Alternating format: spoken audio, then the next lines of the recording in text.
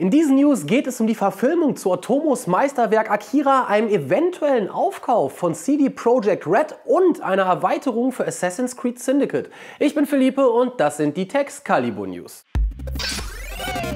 Gerüchten zufolge soll Katsuhiro Otomos Erfolgsmanga Akira als Real-Life-Film umgesetzt werden. Die Reihe war eine der Geschichten, welche die Manga- und Anime-Welle nach Europa und Amerika brachte. Eine Verfilmung würde daher sicher vielen Fans gefallen. Bereits seit 2002 hat Warner Bros. die Rechte an einer Realverfilmung und versucht, diese in die Tat umzusetzen. Angeblich plant das Studio gemeinsam mit Christopher Nolan jetzt sogar eine Trilogie zu dem Werk. Für den 21. Juli 2017 wurde bereits Nolans nächster Film für die Kino Kinos angekündigt. Während bisher viele auf einen neuen Batman setzten, liegt jetzt die Vermutung nahe, dass es sich dabei tatsächlich um Akira handeln könnte. Welche Position er bei der Produktion einnehmen soll, ist jedoch noch unklar. Außerdem arbeitet Regisseur Brad Bird derzeit an einer Fortsetzung zu dem Disney-Film Die Unglaublichen. Seit der erste Film über die Familie Incredible 2004 in die Kinos kam, wird ein zweiter Teil bereits von vielen sehnlichst erwartet. Das Drehbuch soll laut Bird schon zu einem Dreiviertel fertiggestellt sein. Ebenso seien an der Produktion viele beteiligt, die bereits beim ersten Film involviert waren. Zur Handlung verriet er bisher noch nichts, denn die Spannung soll ja nicht schon im Vorfeld genommen werden.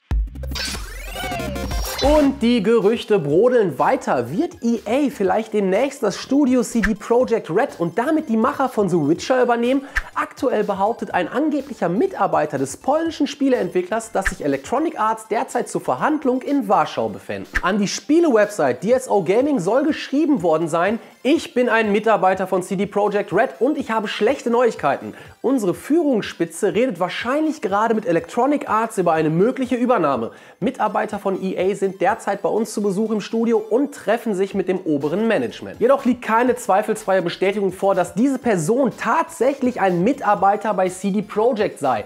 Daher ist unklar, ob man der Aussage überhaupt Glauben schenken kann. Marcin Nowinski, einer der Gründer des polnischen Entwicklers, weiß angeblich nichts von einem möglichen Aufkauf durch EA. Ob wirklich Vertreter von Electronic Arts in Warschau waren, ist demnach unklar. Und auch wenn es Fakt wäre, könnte der Besuch auch noch viele andere Gründe haben. Möglich wäre ja auch beispielsweise eine Kooperation für eines der nächstgrößeren Spiele. Ein Aufkauf durch einen großen Publisher wäre aufgrund des Erfolges der The Witcher-Reihe zumindest vorstellbar. Música Jack the Ripper mischt bei Assassin's Creed Syndicate mit. Allerdings soll der Serienmörder nur per DLC ein Bestandteil des Open-World-Spiels werden und müsste daher zusätzlich erworben werden.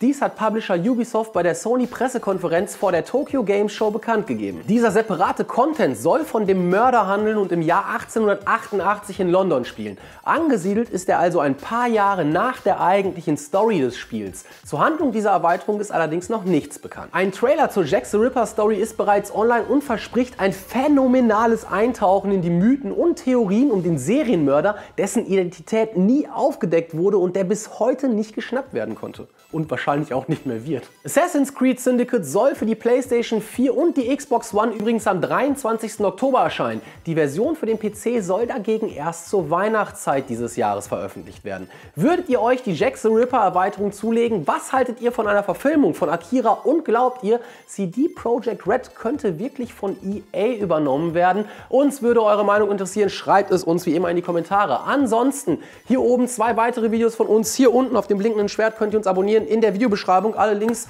und alle Quellen. Ja, macht es gut. Tschüss.